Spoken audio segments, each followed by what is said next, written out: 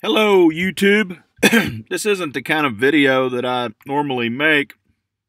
And uh, to be honest, I, I, think I just got really lucky figuring this out. Uh, I mean, I'm kind of a slightly a nerd. I used to be a bigger computer nerd than I am these days, but I've been preoccupied with other things. So it's kind of hard to keep up. You know how old people kind of lose touch with their nerdiness. Uh, it's kind of the case here. And uh, this is my first Apple computer, but let me get down to the point here.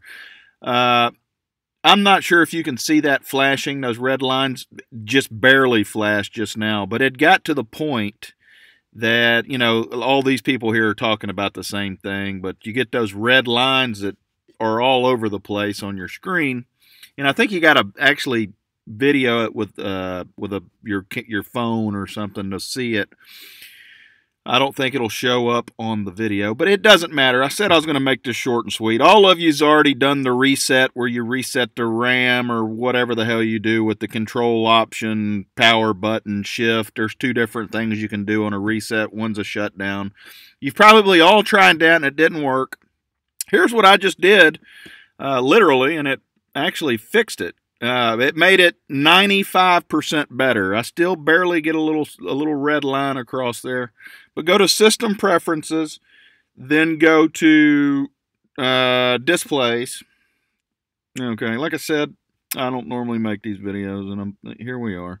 So what I did is I went to Color. I just did this. Uh, then I went to Calibrate and then go here. And when you get to this screen, now I don't want to touch it because I got it where it's not doing anything, okay? But as you're going right and left here, it'll cycle through lines that are worse, really bad, and then they'll go away. And then you can you go a little farther, it's worse, really bad, then it goes away. If you come back the other way, it does the same thing. So you'll have those lines you're kind of cycling through. What I did was get to a point to where it went away, where the lines went away and there wasn't anything going on, right? And then I hit continue uh, and just uh, went through the till the end here.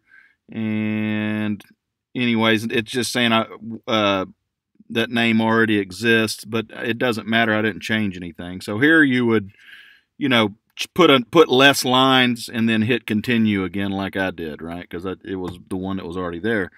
But uh, yeah, so that's what I did, and it fixed it.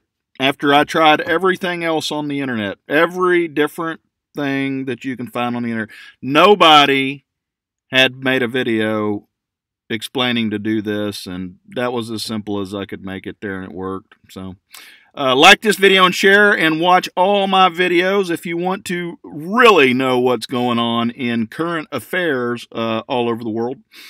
Uh, please like and share and watch my videos. Thank you.